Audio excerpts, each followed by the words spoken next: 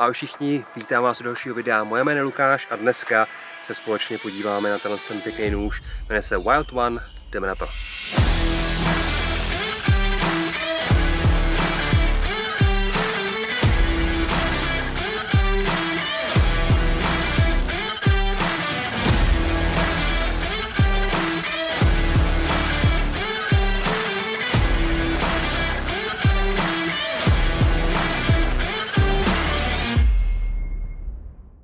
Wild One od společnosti Wilumsen eh, má vlastně to své označení, to Wild One, jak sama ta společnost říká, kvůli tomu, že to je jediný nůž, který vy budete potřebovat do té přírody, do té divočiny. Tenhle ten nůž byl navrhovaný přímo k bushcraftu, přímo na chození venku, přímo k outdooru. A my se podíváme, proč vlastně je tak zajímavý a proč by se pro tyhle ty účely měl hodit. Hnedka na začátku cena 3290 korun, dostanete to v takovémhle pěkném pouzdru, pouzdru je udělaný kompletně z kůže, můžete ho buď to nosit jako dejme tomu moru, bez toho závěsu, anebo se tam přidat ten závěs a nosit to takhle pěkně na tom závěsu. Pouzdro je za mě zajímavý, hezký, udělaný, samozřejmě prošívaný.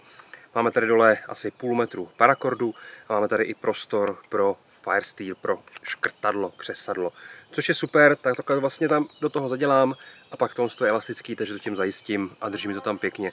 Myslím si, že ten, to křesadlo je opravdu veliký. Je tam spousta materiálu, který můžete vykřesat. Tak, no a když pak chcete vytáhnout ten nůž, tak vám vlastně jenom stačí ho vzít a vytáhnout ven. Na první pohled je vidět, že to není úplně šíleně obrovský nůž, je to opravdu takový akorát do ruky, nemusím si dělat starosti s tím, že by byl moc velký, moc masy a tak dál, někdo to nemá rád, někdo má rád zkrátka tyhle ty menší nože, v tomhle tom případě 23,5 cm, délka 12 cm má čepel a 11,5 cm potom zbývá na tu rukojeť, která, jak je vidět, tak je dostatečně velká, jelikož takhle bez rukavic mi tam ještě zbývá, dejme tomu, centimetr, centimetr a půl a co se týče vyvážení, tak to máme vlastně vyvážení tam, kde máme ukazovák. Takže za mě v tomhle, těch, v tomhle případě, v těch parametrech je to dost ideální řešení.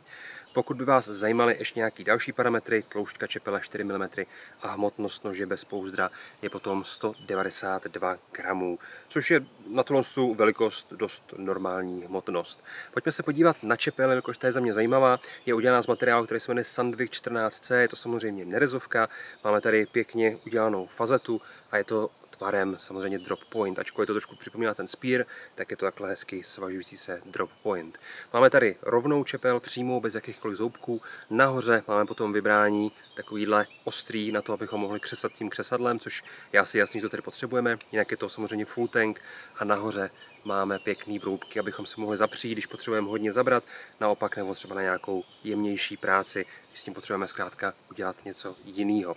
Líbí se mi, že ta tloušťka té čepele je víceméně tak akorát na to, abych já se do toho mohl přijít nějakým druhým polenem, něco si rozseknout a když potom pojdeme na tu rukojeť, Tomhle tomu typu dřeva se říká paka, je to tady takový hezký laminát, když vlastně se to dobrušuje potom do toho tvaru, tak to vydává takovýhle pěkný léta. Mně se to moc líbí, je to udělané opravdu hezky, samozřejmě ergonomie taková, aby se to dobře drželo. Na druhé straně máme potom otvor, tam mám teďka udělaný takovýhle přívěšek, který tomu dostanete. Je to na to, že to můžete vlastně vzít, ale pochopitelně si tam kvůli můžete dát ten parakor z toho pouzdra a trošku to zajistit, když budete sekat, tak aby vám to někde nevylítlo.